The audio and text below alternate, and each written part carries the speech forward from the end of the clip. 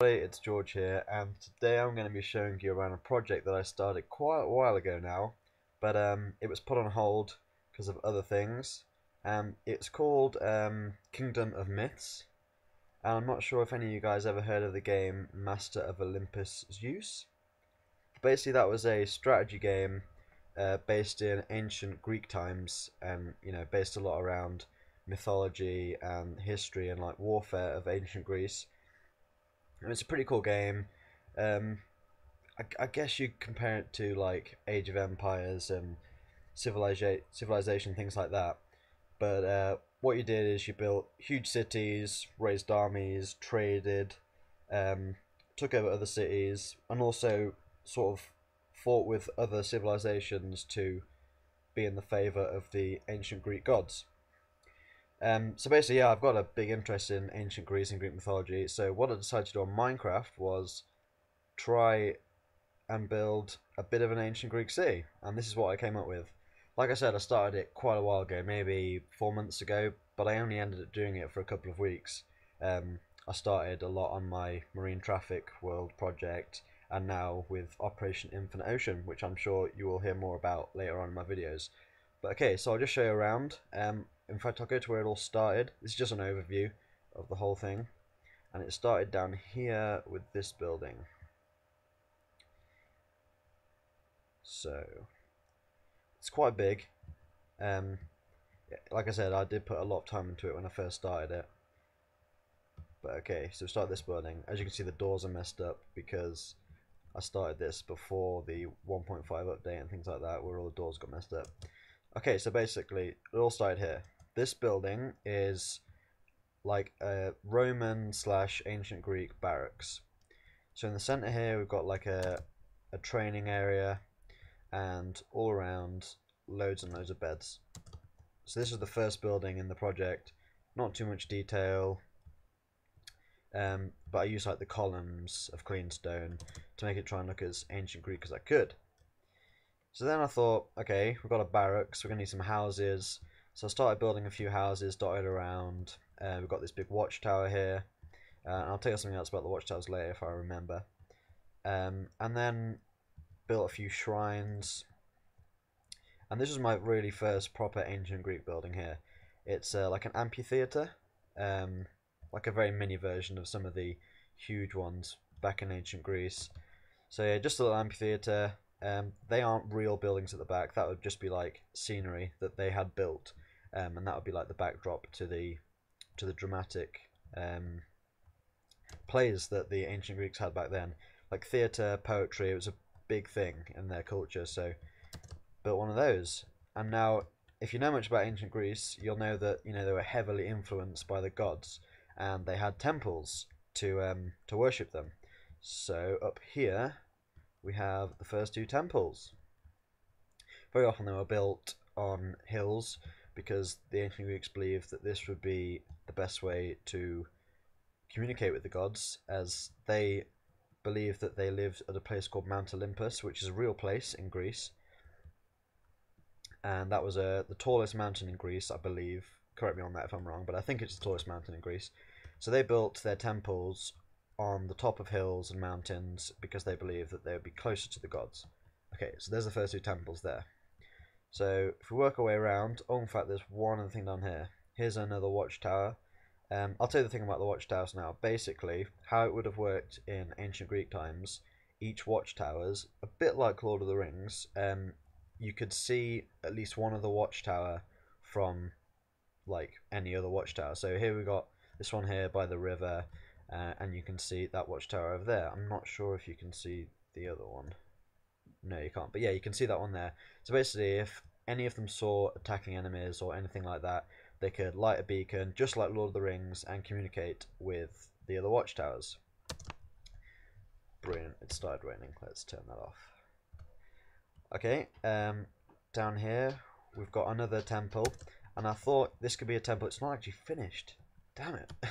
okay, this is going to be like a temple. Um, I'm not sure which god it is, but I'm sure they had at least one god which they used to worship travelers um, to give you good luck on journeys.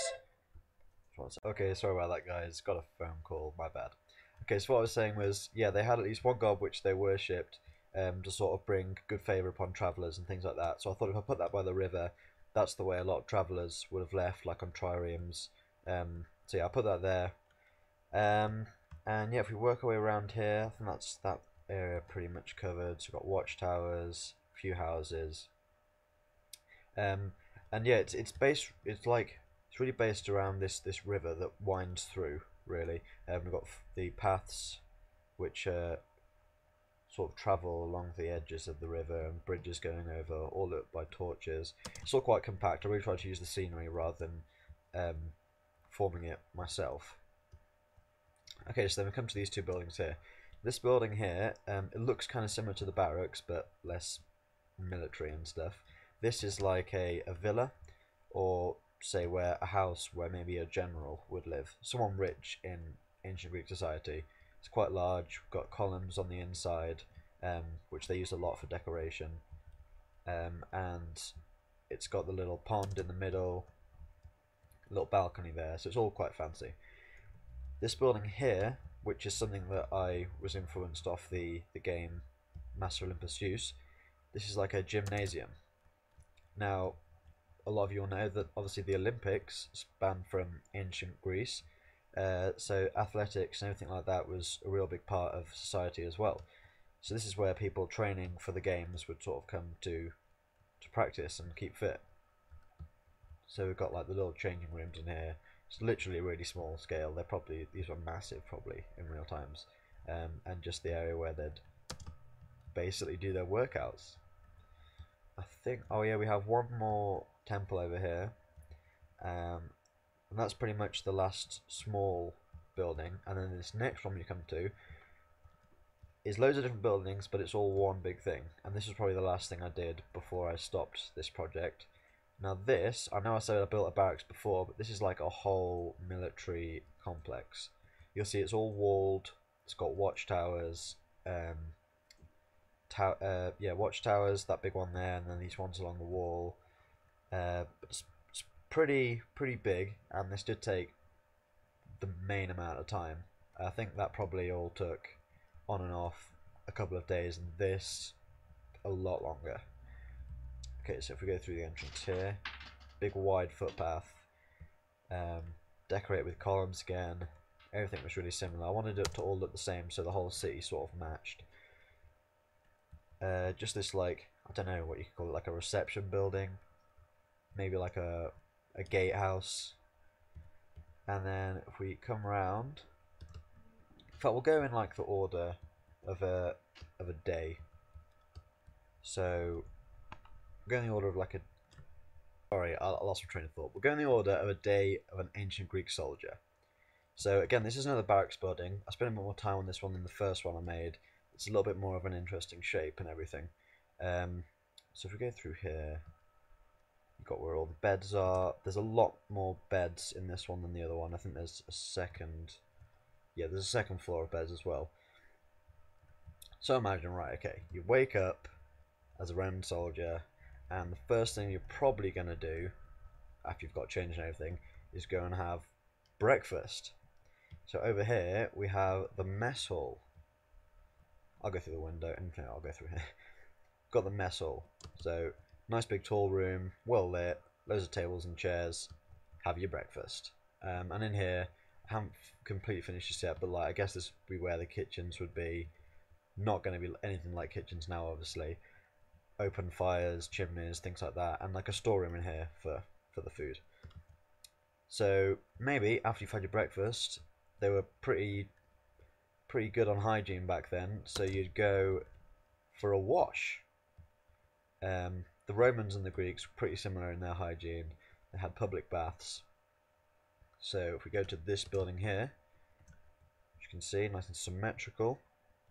This building here we have like the changing rooms again in here.